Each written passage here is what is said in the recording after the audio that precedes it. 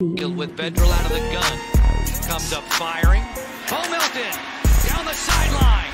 Melton cuts it back, and he'll waltz into the end zone for the touchdown.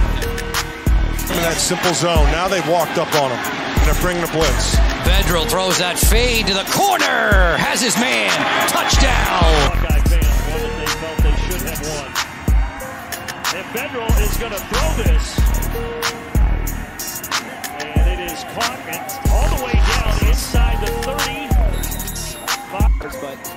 Not forget, one of those is counted on that fake punt. That was Steele Chambers. And now they're going to throw it across the field again to Melton. We saw that to start the game.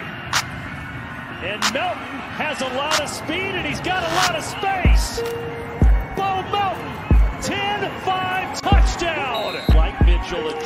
Get more playing time here tonight. Just a glimpse into the future for Ohio State.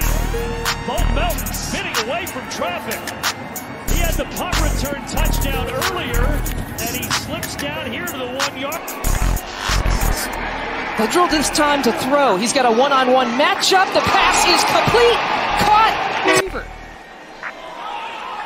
Vedral this time to Melton. Drops it in the bread basket for an. It's Young, the running back, who is in motion. Vedral down the middle of the field, and he goes way. What a catch!